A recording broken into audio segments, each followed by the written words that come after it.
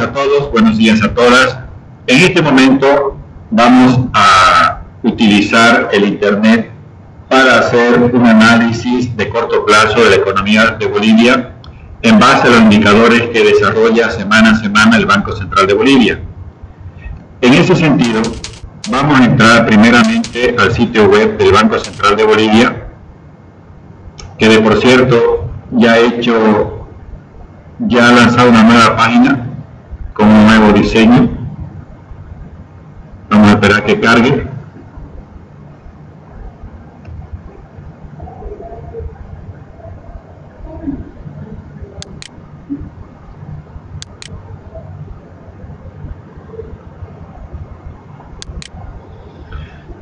Bien, ahí vemos.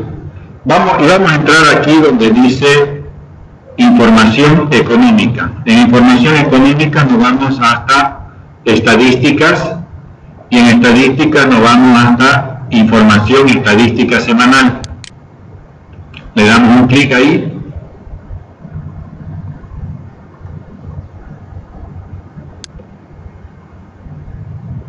y nos vamos a información estadística semanal. Como pueden ver acá, voy a hacer un poquito más grande para que se vea primeramente y después ya lo no muda.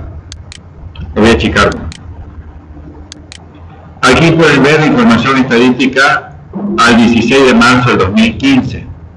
Se presenta en PDF y en Excel. Le doy un clic en Excel.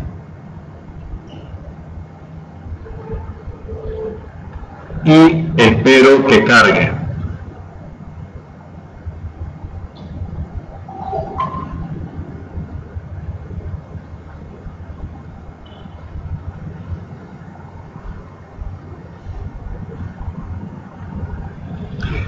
Está cargando y aquí está descargando los 890 KB del documento que prepara periódicamente el Banco Central de Bolivia.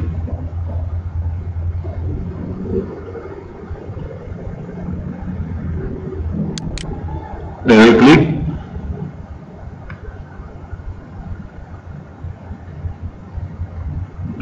y ahí podemos ver la información estadística semanal que prepara el Banco Central de Bolivia. Aquí nosotros podemos ver información inclusive desde, desde el año 2009 y la última información que tenemos en esto es hasta el 20 de marzo Hoy somos 8 de abril, es decir, tiene un rezago de, 18 días, ¿no? ¿Sí? Entonces, tal vez hoy o, mañana ya salga completo marzo, inclusive podría ser iniciando abril. Ya. Bien, vamos a ver qué es lo que está sucediendo acá. Voy a, hacer un poquito más pequeño. ¿Se ve? Sí. Miren, la primera variable económica importante que nos da aquí son las reservas internacionales brutas del Banco Central de Bolivia. Esas reservas están compuestas por divisas, por derechos especiales de giro, por oro y la posición con el FMI. Fíjense, las reservas internacionales del Banco Central de Bolivia a fin del año 2009 llegaron a 8.000 580 millones de dólares. Y hoy en día, ¿hasta cuánto ha llegado la Reserva Internacional en este del Banco Central? Al 20 de marzo han llegado a 15.035 millones de dólares, es decir, casi se duplicaron del 2010, 11, 12, 13, 14, bueno, en 5 años y, y 3 meses las reservas básicamente se han, se han casi duplicado. ¿ya? Y si lo miramos desde, el primero de diciembre, el primero de diciembre la reserva era de 15.087 millones de dólares. Y de 15.087 millones de dólares al 20 de marzo, ¿qué está sucediendo con las reservas brutas? Han disminuido, ¿no? ¿Sí? Eh, ¿Qué es lo que nos dice esto? La crisis internacional que está empezando a generar la caída del petróleo y la caída de las materias primas ha empezado a generar efectos en las reservas del Banco Central de Bolivia. Si nosotros miramos, por ejemplo, si vemos entre, miren, 2010, 11, 12, 13, hasta el 2013. Miren ustedes cómo desde el 2010 hasta el 2013 las reservas internacionales del Banco Central iban creciendo paulatinamente. ¿Por qué? Porque el precio de las materias primas estaba elevado y también porque nuestras exportaciones estaban creciendo y crecían en, términos de volumen y términos de precio. Pero ¿qué, ¿qué, es lo que empieza a suceder a partir del 2015? Miren, en enero del 2015 la reserva está en 15.087 millones de dólares, febrero sube un poco, ¿y qué empieza a suceder las primeras semanas de marzo? Las reservas empiezan a contraerse. En otras palabras, lo que nos quiere, lo que nos está anticipando esta información es que el ciclo expansivo de la economía de Bolivia podría estar llegando a su fin. Ya es esa, esa época de, bastante auge de la economía de Bolivia podría estar empezando a tener su etapa de ralentización debido a la disminución del precio de los hidrocarburos que han bajado su precio desde 104, 105 dólares han llegado inclusive hasta, hasta el precio de 45, 50, 55 dólares que están, debe estar actualmente. Claro.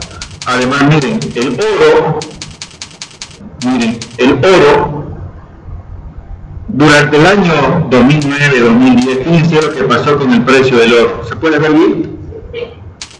El precio del oro subió de 2 mil millones de dólares hasta básicamente los 1.600 millones de dólares. Crecieron un 60% el oro. ¿Por qué sucedió eso? Resulta que el precio del petróleo del año 2009 cae nuevamente.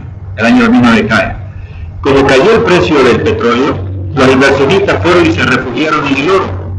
Por lo tanto, como demandaron más oro, ¿qué sucedió con su precio? Su precio sube y eso nos benefició a nosotros. Y llegó eso hasta cuánto llegó nuestro, nuestro oro hasta a fin de diciembre que llegó a 2.267 millones de dólares. Y ahí que empezó a suceder con el precio del oro. Miren ustedes, y hoy en día nuestro oro vale 1.605 millones de dólares. Es decir, desde el 2000, 2000 ¿cuánto? 2012, desde 2.200 casi 2.300, pongámosle, ahora vale 1.600, es decir, hemos perdido 700 millones de dólares vía precio, ¿no? Ya nos está afectando. ¿Ok? Bien. ¿Qué otra variable nosotros podemos considerar acá que son importantes? Otra es la, la emisión monetaria. Ya miren ustedes la emisión monetaria que ha ido generando el Banco Central de Bolivia. El fíjense entre el, 2009 y 2010. ¿Qué pasó con la emisión monetaria? De 17 mil millones se fue a 24 mil millones. Es decir, el 2010, como el 2009 hubo una época de contracción de la actividad económica fruto de la crisis internacional, el 2010 el Banco Central de Bolivia, ¿qué es lo que hace? Inyecta circulante a la economía para lubrificar la economía, ¿ya? A costa inclusive de una mayor tasa de, de, inflación. Y fíjense aquí cómo crece la, emisión monetaria y de ahí ya sus crecimientos fueron más, más lentos. Entonces, es una política que utiliza el Banco Central. En momentos de crisis, el Banco Central inyecta, inyecta liquidez en el año de 1929, en Estados Unidos, cuando se desata la crisis de octubre de 1929, debido a que estaba con la, con la teoría este, clásica de Adam Smith y Ricardo, los bancos de la Reserva de Nueva York, de Chicago, de bueno, todos los bancos de las reservas de Estados Unidos, que pertenecen a la Junta de Gobernadores, ellos no expandieron la cantidad de dinero que más quitaron liquidez a la economía y por lo tanto la crisis se profundizó. Bolivia aprendió de esas lecciones de Estados Unidos de la crisis de, la década de los 30 y aquí actuó adecuadamente el Banco Central de Bolivia expandiendo la masa monetaria para que para darle liquidez a los agentes económicos. De esa manera, cuando los bancos reciben liquidez, cuando, cuando las personas reciben liquidez, ahí se aumentó el salario mínimo, cuando se hicieron ciertas políticas para que haya más circulante en la economía, esto permitió de que la crisis no se, no se sintiera demasiado. Hubo una contracción económica en el 2009, pero el 2010 nuevamente Bolivia recuperó la senda de crecimiento, acompañando por la sustancial mejora en los precios del gas. Y ahorita, fíjense, la emisión monetaria está en torno de los 38.836 millones de bolivianos. Aquí ahora podemos ver el agregado monetario M'1, M'2 y M'3. Es decir, ¿qué es lo que comprende el agregado monetario M'1? Comprende el dinero en poder público en bolivianos, las, las cuentas corrientes en bolivianos y la cuenta corriente en dólares. Todo eso hace el agregado M'1. ¿Qué comprende el M'2? El M' es el M'1 más las cajas de ahorro en bolivianos más las cajas de ahorro en dólares. ¿Y qué comprendería el M'3? El M'2 más los DPF bolivianos y más los DPF en dólares. Aquí lo que podemos observar nosotros claramente es la tendencia, miren que cada uno de ellos tiene, pero ¿qué es lo que podemos ver? Fíjense acá, con el M'3 con y el M'2. Miren, desde fin de febrero, fíjense, a fin de febrero, veamos el M', a fin de febrero, el M'3 estaba en el orden de los 156.428 millones de bolivianos. De 156.000 ha descendido a cuánto? A, 150, a 155 mil. Es decir, los DPF han empezado a contraerse durante el mes de marzo. También que empezado a contraerse durante el mes de marzo. Ha empezado a contraerse las cajas de ahorro y levemente han crecido y se han contraído qué cosa también en el mes de marzo. La, el, M, el M1, es decir, el circulante, está viendo menos circulante, está viendo menos este menos depósito en cada ahorro y está viendo menos dinero en, en DPFs, ¿ya? Y ahí está cuantificado, ¿ya? Entonces, y ahora veamos la participación que tiene el M1 sobre el M'1. ¿Qué es el M1? En la, en la, la cuenta corriente en boliviano y el, y el dinero en poder del público también en boliviano sobre el M1, M, sobre el M'1. Y el M'1 incluye la cuenta corriente en dólares. Entonces, fíjense, a fin del 2009, la bolivianización representaba el 82,25% en el M1 sobre el M'1, pero el 82,25% ¿a cuánto ha pasado? Al 86,5%. ¿Ya? 86,5%. Pero miren aquí lo que el fenómeno que se está sucediendo. En, en febrero de del 2015, la bolivianización era de cuánto? Del 87.13%. Pero en marzo, ¿qué pueden ustedes notar en marzo? ¿Qué pueden notar en la tendencia? Empieza a disminuir. Es decir, el agente económico, en su racionalidad, cuando empieza a ver de que algo podría suceder con la economía, ¿qué empieza a pensar ese agente económico? Hago portafolio. Una parte de mi dinero la voy a seguir teniendo en pero voy a guardarme un tantito abriendo una cuenta corriente en dólares, otro tantito voy a abrir un DPF en dólares y otro tantito ya voy a empezar a abrir DPF en dólares. Entonces, esos fenómenos son los que aquí se pueden observar, fíjense ustedes. La participación de todos los agregados nacionales sobre el agregado M', todos han disminuido, fíjense ustedes. Todos, sin excepción, han disminuido. Entonces, eso es parte de la racionalidad. Entonces, eso nos, nos dice de que algo, algo podría estar sucediendo en la economía. Lo estamos viendo ya con, con datos oficiales y de esto todavía no ha hablado nada la prensa, porque la prensa generalmente menciona cuando hay algún anuncio gubernamental y cuando hay algún anuncio gubernamental va y pregunta qué cosas tiene para decir algún comentólogo, ¿no? pero no hace esto que estamos haciendo nosotros ahorita. Vamos a seguir viendo. ¿Qué sucede con el ahorro del sistema boliviano?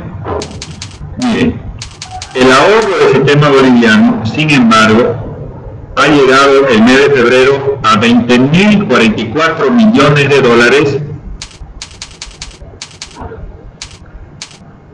y fíjense ustedes, luego subió en la segunda semana a 20.118 millones de dólares y la tercera semana de, del mes de marzo se ha contraído en 33 millones de dólares. La bolivianización, que es la participación del, de los agregados monetarios entre, el M', era lo que yo le mencionaba hace un momento, desde el 82-41% ha disminuido hasta cuánto? A 82,10%. A mí me puede ser muy poquito, pero ustedes, como ustedes manejan ustedes saben que los incrementos van va llegando hasta un, hasta un límite y de ahí puede ser que eso empiece a disminuir. Los depósitos en el sistema financiero.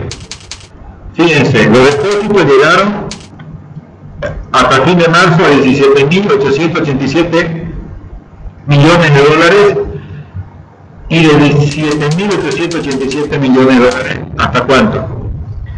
17.814. ¿Ya? ¿Qué pueden observar ustedes allí? También que los depósitos han empezado a disminuir levemente. ¿Ya? Entonces lo que podemos anticiparnos es que de seguir esta tendencia, se, podríamos estar ahora en la etapa de contracción o del freno del ciclo económico en Bolivia. Entonces, este es un laboratorio de análisis, esto que estamos viendo ahorita nosotros, que pocas veces se lo ve, porque generalmente todos los últimos años hemos estado en etapa expansiva del ciclo económico, la etapa expansiva. Entonces, ahorita estamos viendo ante una etapa donde se frena, se frena el crecimiento económico. Veamos aquí los depósitos a la vista. Fíjense los depósitos a la vista de 4.100 millones de dólares a final de febrero. Queda en 4.081 millones de dólares. Las cajas de ahorro también han caído. Los depósitos a plazo fijo, bueno, eso ha incrementado un poco. Ya.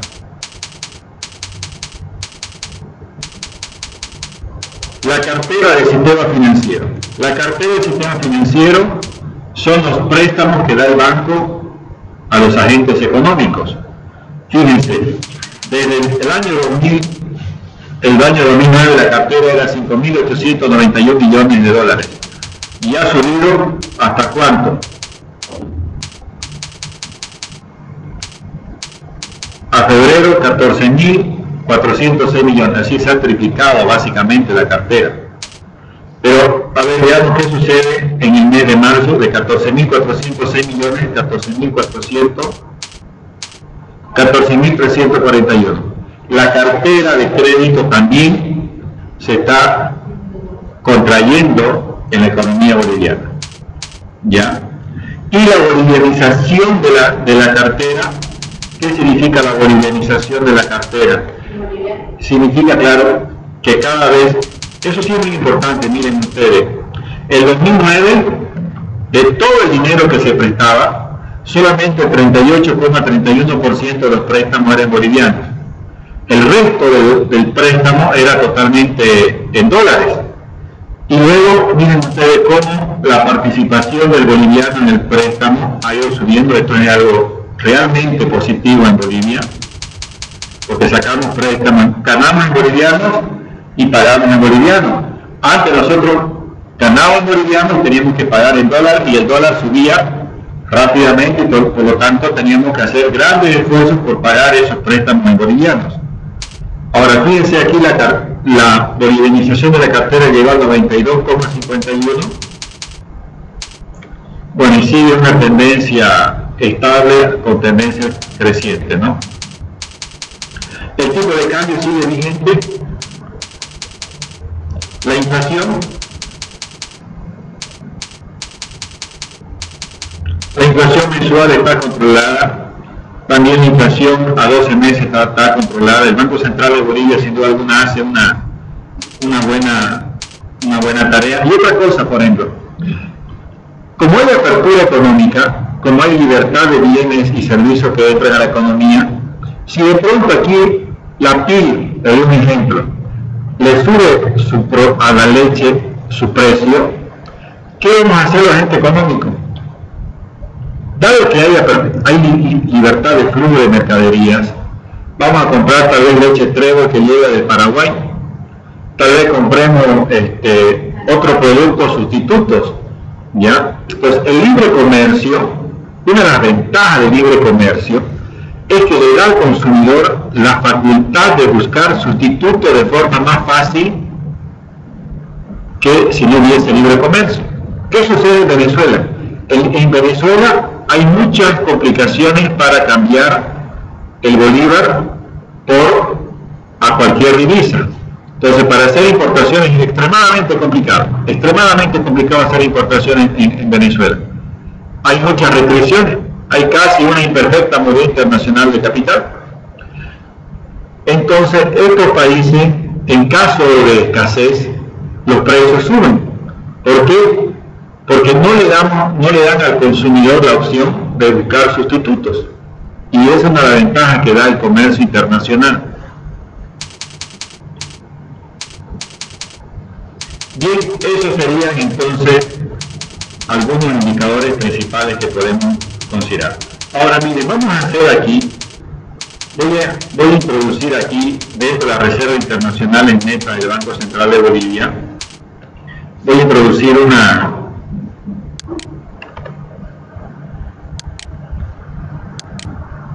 esto con amarillito lo voy a colocar y le voy a colocar miren así RIM con respecto a los depósitos con respecto al total de depósitos y voy a escribir aquí las reservas entre el total de los depósitos. ¿Dónde están los depósitos, ahorros, ahorro del sistema? Entre y a le voy a colocar el signo de porcentaje con, con un decimal y vengo y lo copio hasta el último miren ustedes a fines de diciembre de 2009 la Reserva Internacional en neta cubría el 93% de nuestros 96.3% de nuestros depósitos. ¿Ya? Eso era un alto nivel de liquidez y solvencia del Banco Central de Bolivia como garante de la fe del Estado ante el sistema financiero. Y fíjense, ¿qué pasó en diciembre 2010, 2011, 2012? ¿Qué pasó? No, no. Más bien, lo que ha sucedido, fíjense ustedes, es que en esos años la relación entre Reserva Internacional Meta y Depósito aumentó, es decir, eran mucho más las reservas internacionales netas del Banco Central con relación a los depósitos. ¿Ya? Pero ¿qué piensa pasar a partir del 2013?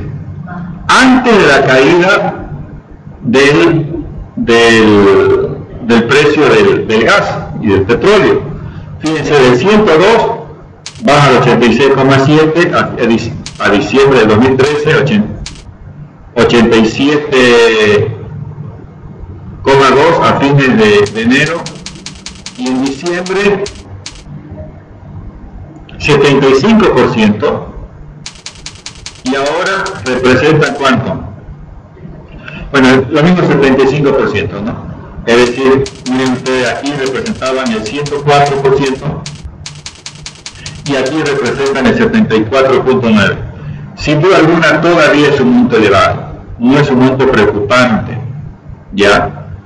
Pero si la recuperación económica no se da, si los precios no mejoran de los hidrocarburos, sin duda alguna esto podría ir disminuyendo, ¿ya? Entonces, como ustedes han podido ver, aquí lo que se ha tratado de mostrar son algunos indicadores básicos del informe semanal que genera el Banco Central de Bolivia y sirve para que nosotros tengamos una idea de coyuntura de cómo está la economía de Bolivia el día de hoy. Si bien ahorita somos 8 de abril de 2015, este informe está preparado hasta el 20 de marzo del 2015. Muchas gracias.